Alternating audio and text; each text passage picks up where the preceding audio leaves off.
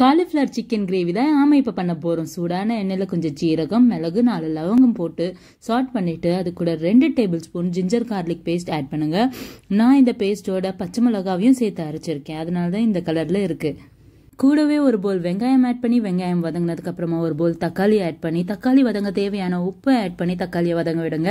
இதை மாதிரி cauliflower chicken gravy சாப்பிட்ருந்தீங்கன்னா கமெண்ட்ல மறக்காம மென்ஷன் பண்ணுங்க. தக்காளி நல்லா வதங்கினதும் அது கூட சிக்கன் ஆட் பண்ணிக்கோங்க வீடியோ முடிஞ்சதும் மறக்காமல் என் சேனலை சப்ஸ்கிரைப் பண்ணிவிடுங்க அண்ட் சிக்கனை நல்லா தக்காளியோட மிக்ஸ் பண்ணிவிட்டு நமக்கு வந்து கொஞ்சம் மஞ்சத்தூள் ஆட் பண்ணி நல்லா மிக்ஸ் பண்ணிக்கலாம்.